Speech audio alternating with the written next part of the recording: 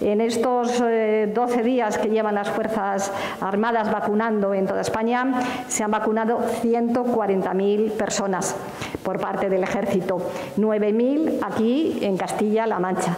Tenemos nueve unidades de vacunación en toda Castilla-La Mancha.